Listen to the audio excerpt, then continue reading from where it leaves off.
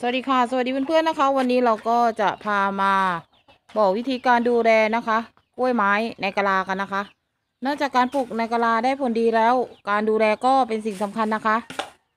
อันนี้ก็เป็นพันธุ์กล้วยไม้หวายแคระนะคะ ที่ออกดอกสม่ำเสมอและออกดอกทั้งปีนะคะ วิธีการดูแลเมื่อดอกโทรมแล้วเราทำยังไงดี เพื่อไม่ให้ต้นของเขาโทรมง่ายโทรมไวนะคะ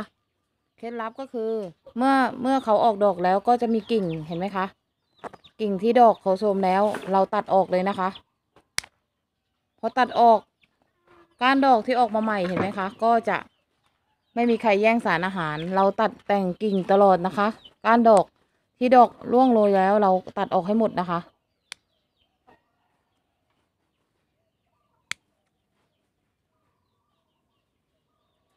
จะทำให้ต้นไม่ดูโทรมด้วย แล้วก็การออกกิ่งใหม่ วิธีการตัดก็คือกันไกลนี่นะคะ ง่ายสุดตัดแต่งกิ่งนะคะ เพียงเท่านี้ค่ะ ดอกของเขาก็จะสม่ำเสมอ การให้น้ำก็เป็นสิ่งสำคัญ เมื่อเราบางครั้งเรายุ่งเราไม่มีเวลา เราก็จะใช้ระบบน้ำหยดนะคะ คือหยดให้ปริมาณน้อย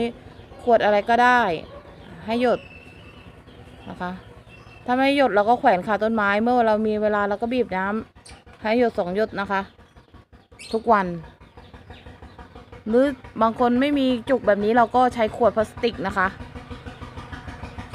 ขวดพลาสติกเจาะรูแล้วก็แขวนไว้ที่กิ่งไม้ หรือว่าในกระถางกล้วยไม้ของเราก็ได้ค่ะ